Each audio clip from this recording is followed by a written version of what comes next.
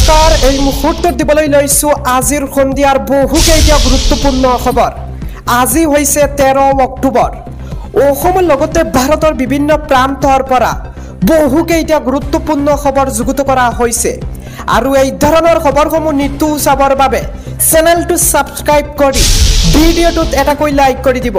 তেন্তে আহক দৰ্শকসকল সন্ধিয়াৰ খবৰকেইটা আৰম্ভ কৰোঁ। আজিৰ সন্ধিয়াৰ প্ৰথমটো খবৰ হৈছে এটা ডাঙৰ খবৰ? এই মুহূৰ্তত জনাই আছো বন্ধ ৰুমৰ ভিতৰত উদ্ধাৰ মাতৃ আৰু পুত্ৰৰ মৃতদেহ। আমি পুনৰবাৰ জনাই আছো বন্ধ ৰুমৰ পৰা উদ্ধাৰ কৰা হৈছে মাতৃ আৰু পুত্ৰৰ মৃতদেহ। মংগলদৈত চাঞ্চল্যকৰ ঘটনা। পঁচত্তৰ বছৰীয়া মাতৃ দুৰ্গেশ্বৰী দেৱীৰ মৃতদেহ উদ্ধাৰ। ৰহস্যজনক অৱস্থাত উদ্ধাৰ হৈছে পঁচপন্ন বছৰীয়া পুত্ৰ বিৰাজ শৰ্মাৰ মৃতদেহ। ঘটনাস্থলীত দণ্ডাধীশ আৰু আৰক্ষী উপস্থিত। কি কাৰণত মাতৃ আৰু পুত্ৰৰ মৃত্যু হ'ল সেয়া এতিয়াও ৰহস্যৰ আৱৰ্তনৰ ভিতৰত। আজিৰ সন্ধিয়াৰ দ্বিতীয়টো খবৰ হৈছে সকলোৰ বাবে জানিবলগীয়া খবৰ। এটা বিগ নিউজ শিক্ষক সমাজলৈ হিমন্ত বিশ্ব শৰ্মাৰ বৃহৎ ঘোষণা। শিক্ষকেও পাব মামাৰ স্কুটি শিক্ষকলৈ নতুন আঁচনি ঘোষণা। বিদ্যালয়লৈ অহা যোৱাত অসুবিধা পোৱা শিক্ষকক দিব স্কুটি। যাতায়াতৰ অসুবিধা থকা শিক্ষকে কৰিব পাৰিব আবেদন। শিক্ষকৰ আবেদনৰ ভিত্তিত চৰকাৰে দিব একোখনকৈ স্কুটি। চৰকাৰী বিদ্যালয়ৰ আন্তঃগাঁথনি উন্নয়নৰ বাবে এই আঁচনি ঘোষণা। তেজপুৰত এই বৃহৎ ঘোষণা হিমন্ত বিশ্ব শৰ্মাৰ। আমি পুনৰবাৰ জনাই আছো শিক্ষক সমাজলৈ আহিছে এটা ডাঙৰ খবৰ এটা বিগ ব্ৰেকিং নিউজ যাতায়াতৰ অসুবিধা হ'লে এতিয়াৰ পৰা শিক্ষকে পাব মামাৰ স্কুটি। আৰু তেজপুৰত উপস্থিত হৈ হিমন্ত বিশ্ব শৰ্মাৰ বৃহৎ ঘোষণা।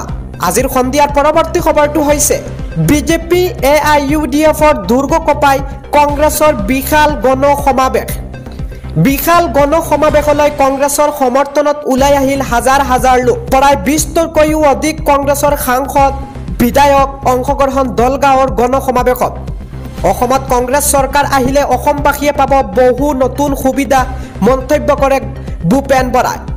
পুনৰ ভূপেন বৰাৰ সন্দৰ্ভত ঘোষণা পাঁচশ টকাত অসমৰ ৰাইজে পাব গেছ চিলিণ্ডাৰ আৰু বিনামূলীয়া অসমবাসীয়ে লাভ কৰিব দুইশ ইউনিট বিদ্যুৎ।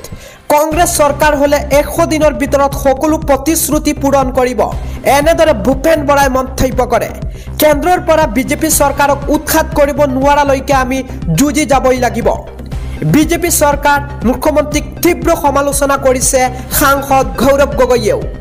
আন এটা খবৰ হৈছে এই মুহূৰ্তত জনাই আছো পৰৱৰ্তী খবৰটো হৈছে গুৱাহাটী পালেহি বিহাৰৰ ৰঘুনাথপুৰত আবদ্ধ অসমৰ ৰেল যাত্ৰীসকল। ৰঘুনাথপুৰত দুৰ্ঘটনাত পতিত নৰ্থ ইষ্ট এক্সপ্ৰেছৰ যাত্ৰী পালেহি অসম।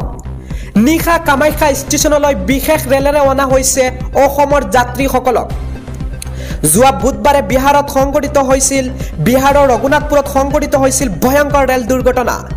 অসমৰ মাতৃকন্যাৰ লগতে দুৰ্ঘটনাত নিহত হৈছিল চাৰিজনকৈ লোক কামাখ্যা ষ্টেচনলৈ অনা হয় ৰাজ্যৰ ভিন্ন প্ৰান্তৰ তিনিশ এঘাৰগৰাকী যাত্ৰী।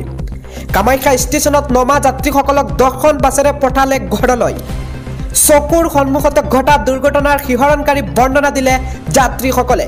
আমি পুনৰবাৰ জনাই আছো এটা ডাঙৰ খবৰ সকলোৰ বাবে জানিবলগীয়া খবৰ। যোৱা বুধবাৰে বিহাৰৰ ৰঘুনাথপুৰত ভয়ংকৰ ৰেল দুৰ্ঘটনা সংঘটিত হৈছিল আৰু নিশা কামাখ্যা ষ্টেচনলৈ অনা হৈছে বিশেষ ৰেলেৰে যাত্ৰীসকলক।